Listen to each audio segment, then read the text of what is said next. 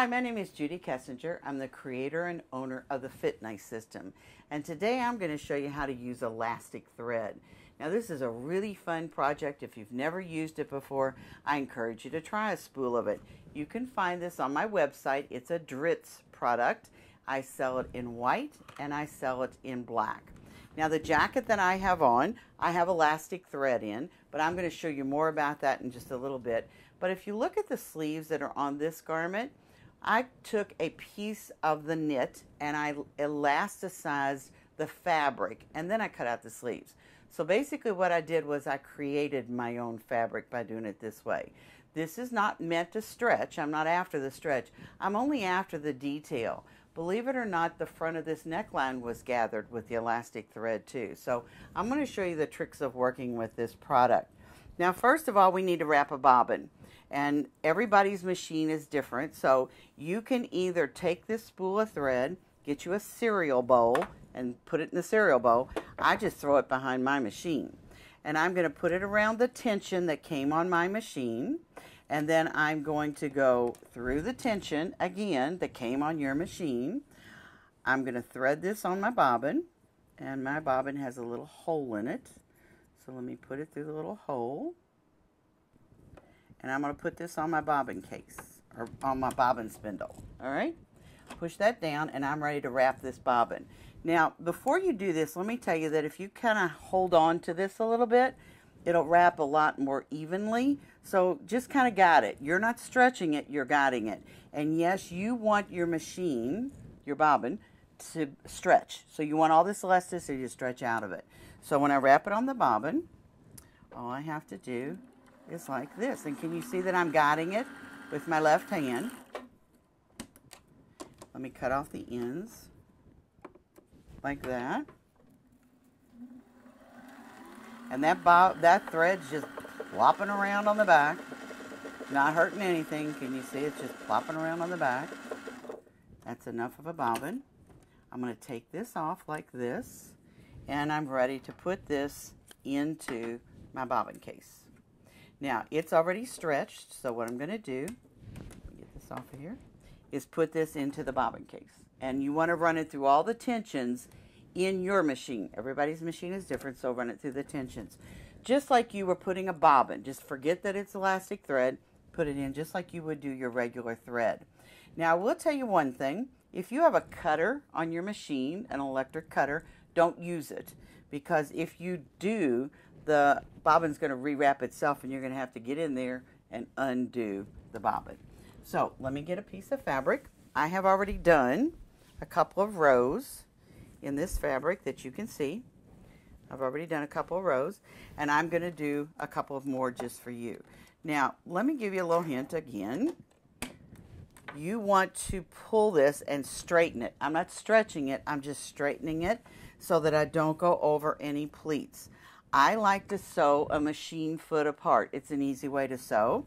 I have my machine set on a far left needle position.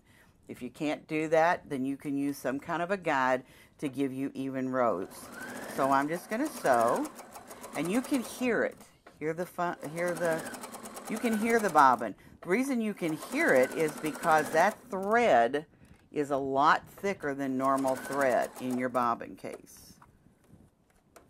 So I'm going to stretch it out like this.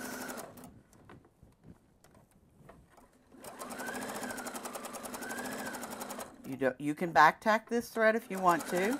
And the best part, if you run out in the middle, all you have to do is start wherever it ran out and keep going. Now you can see how much it's already elasticized, but I'm going to show you a little trick, and that is to steam it, and it will shrink up even more. Now the secret to elastic thread is you have to steam it.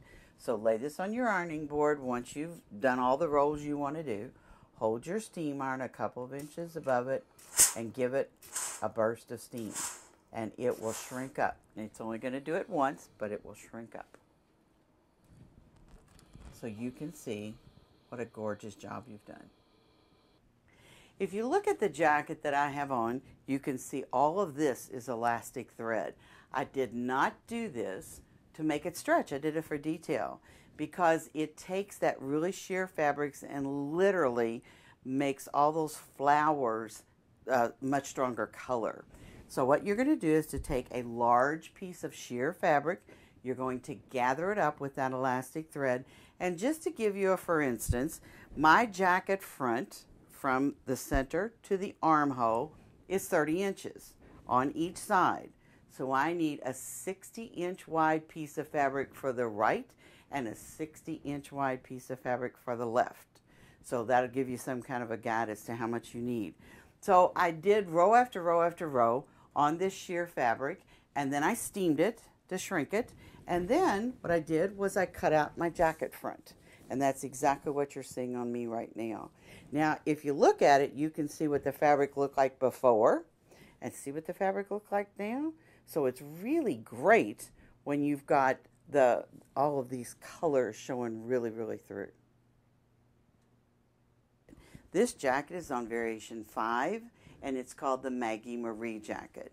And I want to give you a little tip. See the ruffle that's all the way around the jacket?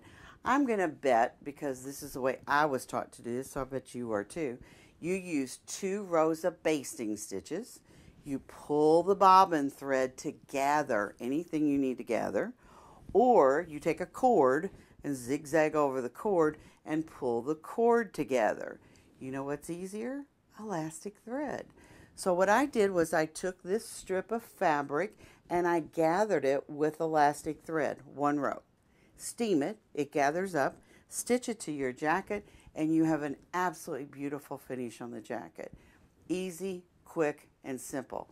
All done with elastic thread. I love it. I love jackets. I really do. Jackets are one of those ways you can either dress up or dress down. So this is a really great tip. Now this jacket, if you look at it closely, you see that it's hanging perfectly straight. But in the back of this jacket, I have elastic thread. So I finished the jacket and I just sewed four rows of elastic thread. And you can see even those rows pull that in and make that jacket a little more fitted. You want a different look to the bottom of your sleeve? do rows of elastic thread and you have the bottom of your sleeve gathered. So it's a really simple way to get exactly the look you're looking for and it's all done with elastic thread. I hope you enjoyed the video and I hope you've seen how simple and easy this system is to work with. All of the products you've seen in the video are available on my website or a link on my website. Please make sure while you're there to check out the classes to see where I am. Join me on Facebook under Fit Nice and be sure to join the Fit Club. Thank you.